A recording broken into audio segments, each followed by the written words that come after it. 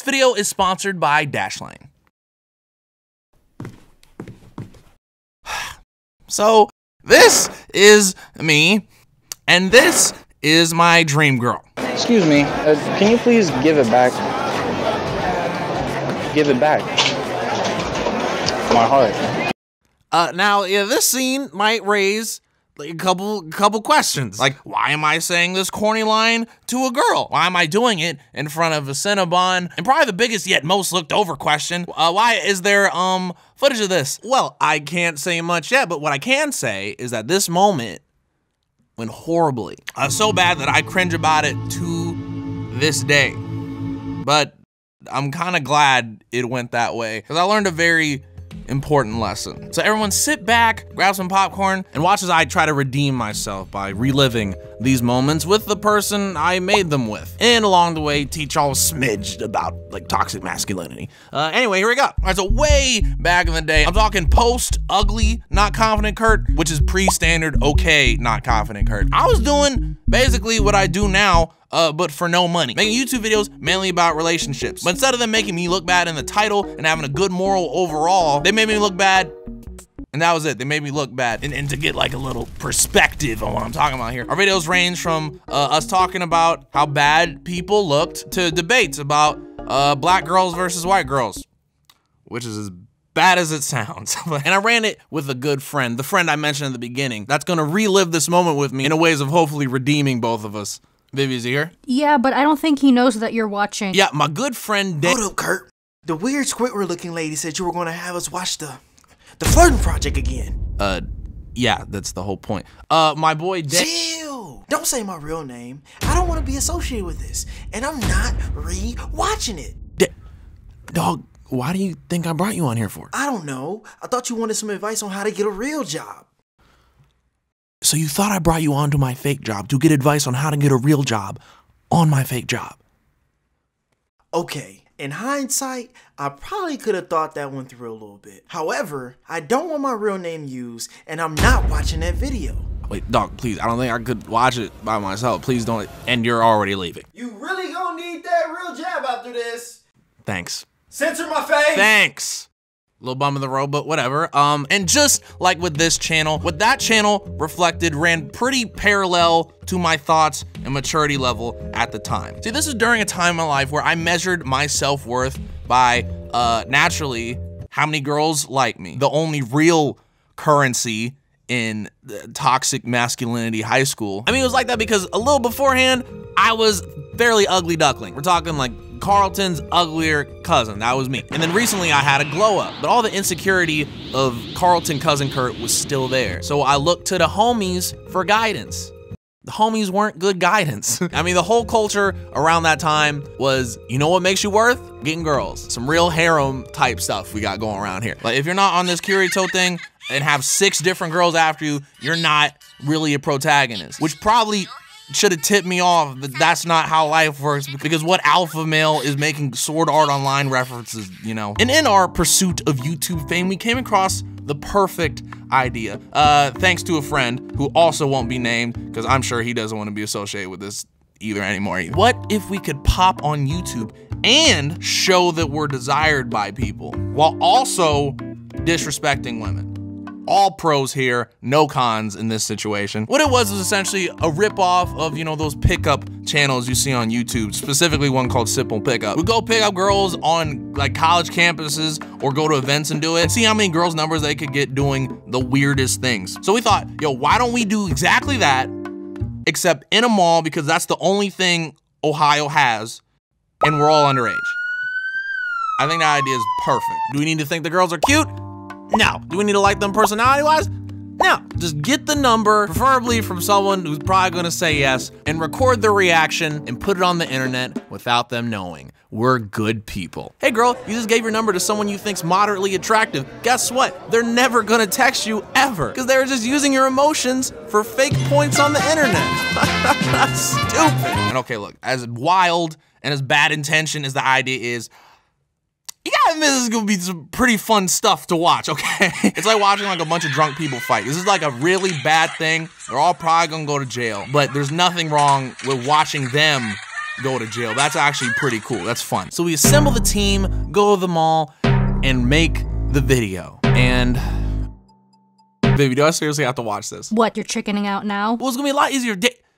Old dude was here, but he left, so I'm like, this is a whole me thing now. What happened to your whole redemption thing? Redemption is such a strong word. Just watch the video. It's the least you can do after being so weird.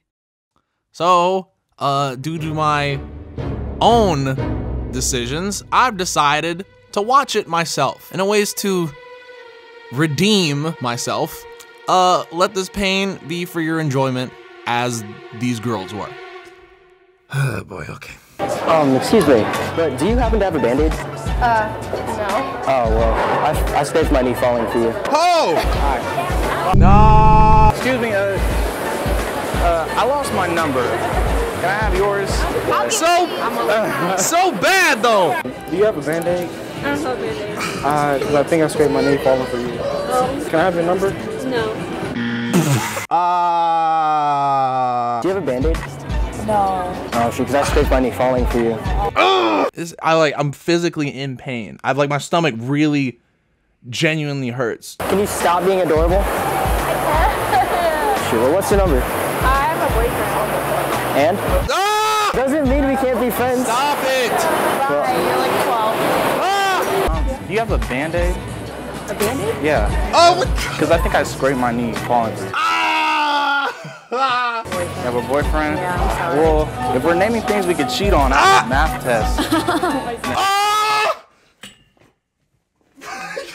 no! No! So after everything is all said and done, I'd say, all right, the script here says it's a pretty solid success. All right.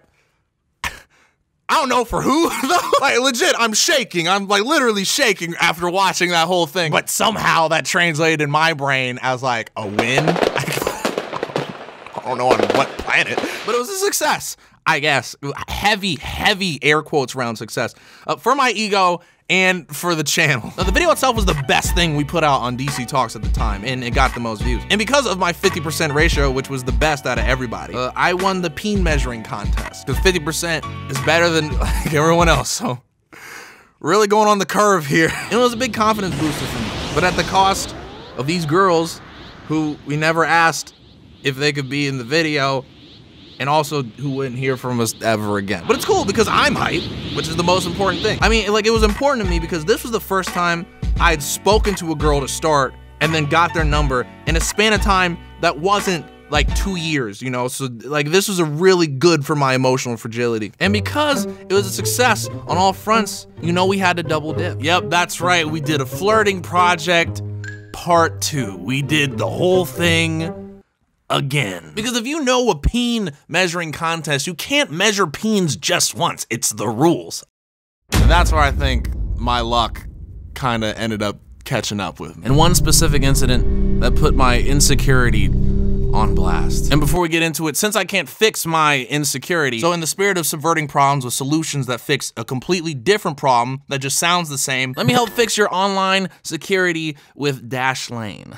I'm sad. All right, this one goes out to all of you who have a password that's like just five G's in a row. Like, yo, someone's gonna catch on to your system, dude. That 5Gs thing is gonna kill you faster than actual 5G, you know what I'm saying? And then you've lost what? Your bank accounts, your personal information, and, and probably your self-esteem because I've never met someone happy with themselves after getting their identity stolen. So what's the solution? Probably probably changing all those passwords. But keeping track of so many is a lot of work. That happens to me all the time. I gotta replug in things at least three times every time I log into anywhere. It doesn't matter. But Dashlane is the simple solution. See, it stores all your passwords in one easy, super secure place and autofills them on all your devices. So passwords, forms, whatever is not a problem. It bridges the gap between laziness and effectiveness. And that's my favorite thing in life. I've been living with Dashlane for like a month now, and it's given me like mad Infinity Gauntlet vibes. It works across all devices, including Apple products, PC, Android, Safari, and Chrome. It has a secure autofill feature that works for personal information and credit cards, saving you time when shopping online. It's got a VPN to prevent people from tracking and helping you access your content anywhere. And it's got dark web monitoring to see if your information is being bought and sold illegally. And it's discounted.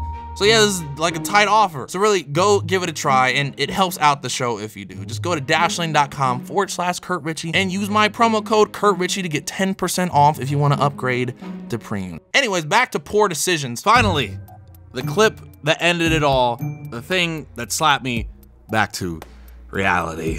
So we're walking through the mall doing part two, and things are going well. We've got a couple rounds in. I only feel like a little bad. Things are going all right. So we're going through some corridor, and I'm looking for my next, well, victim. And out of the corner of my eye, I see this girl. Yo, this girl, like, really was like one of the cutest girls I've seen. She checks off everything on my personal list, and all my friends peep this too. Like, Curt, you gotta go, you gotta go talk to her. You gotta do, you gotta do the, the line on her. And I'm like, man, I really want to waste a line on this, like this moment, this beautiful moment with this girl where I could ruin everything? But again, this is for the contest, the peen measuring contest. You have to. So I nut up and I get ready to do it. And it did not turn out well. So I'm gonna walk you through how this went, okay? So essentially what happens when we do this is that you come in with a squad, like a little camera crew to prep, making these girls like look like fools. And me as well. The cameraman goes in separate from me and then I go in and do the deed. The way this was set up, all right, there's like a Cinnabon, there's like three like chairs right there and there's like one back here where it's safe and one up the front where it's not. Now our boy uh, my boy specifically my cousin actually the, bro you getting disowned. Uh, homeboy goes to the one in the front. So his camera's right in front of old girl and also we came in together. So we're not like the most incognito way of doing this right and then it goes like this okay okay okay Ah, nothing bad's even happened. I'm just scared. Excuse me. Uh, can you please give it back? Give it back. It's funny. She has like she's smiling. She's smiling, right? And it's all cool. Like we're rolling. It's fine. We're all good.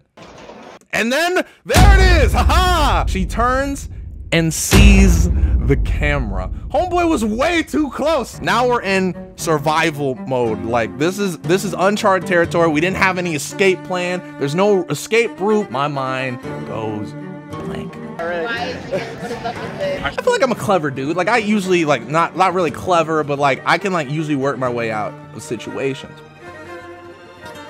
Not here. We're actually doing a little something like a little video. See if you guys could get your number by saying like the cheesy. I just spill all the beef, bro. Hands in pockets. I'm in the most defensive, like body language position. Like, uh, I, I, I, this, is, this, is, what- this is what happened. This is what we did. Like, you know when you're like so nervous that you just like keep like like talk. I, this that's me. That's what I did in this situation. I don't understand. We're weird people. What? There's a number of phrases that could get me out of this situation. Like, like, uh, like, oh no, we're just here to have fun, or I could just walk away. Like, we're weird people. who, who?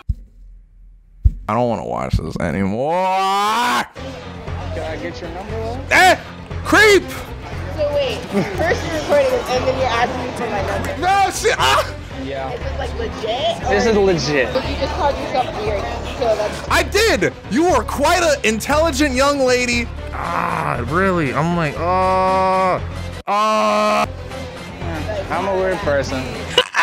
What were you even? How more can you crumble? How further? It's because I knew how bad this was. I'm like, bro, what are we doing?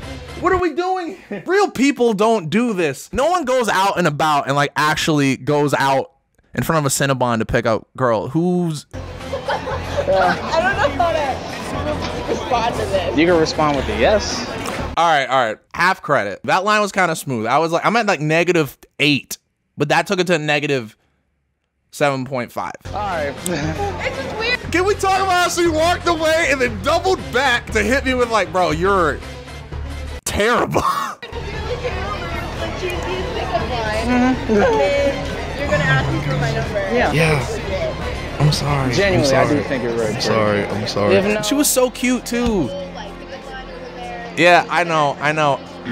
Ah, like I'm actually like, bro. I don't even see. I'm actually shaking. This isn't. I'm not bull crapping right now. Like, oh yeah. And what's even better is that when we walked around and I ran into her two times afterward. Uh, that was just um karma. I'm done. I'm never doing one of these again. React channel seemed like a good idea. terrible idea. We're done. I'm finished. You know, post that I was hurt. I didn't want to edit the video for the channel, much like how I don't want to edit it now. All I wanted to do was curl up in bed and really think about how dumb this all was. I don't know, she really knocked the sense right back into me about how eh, what all we were doing, and really how stupid this whole peen measuring contest was. I mean, objectively, picking up girls is, is pretty lame. Like, yo, who goes to the mall to try and pick up girls? Like, instead of like, I don't know, some shoes. I'm not gonna roll to Popeyes and order all biscuits, you know, that's not what we're here for. And you really just look silly doing that in the setting, you know what I'm saying? And I don't know, getting embarrassed like that and then posting it to show like thousands of people. Gotta put things into perspective. Out of that, we never did the flirting project again because my ego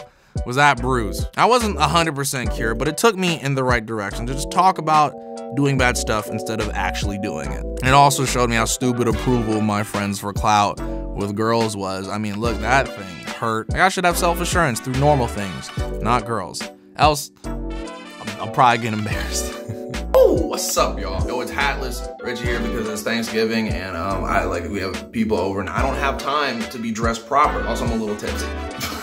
Yo, if you liked that video, be sure to check out my last one. It's about being lonely, and I know a lot about that. I'm recording a YouTube video in a bathroom. Clearly I am. And if you like that type of video, let me know because I might do more. In fact, I'm definitely gonna do one next week. Specifically, more you're gonna see more of this face. Um, but really that's about it. I don't really have that much to add this time around, I don't think. That's really about it, uh, y'all. Uh, thank you guys for watching, and I'll see you guys next time. Uh, peace.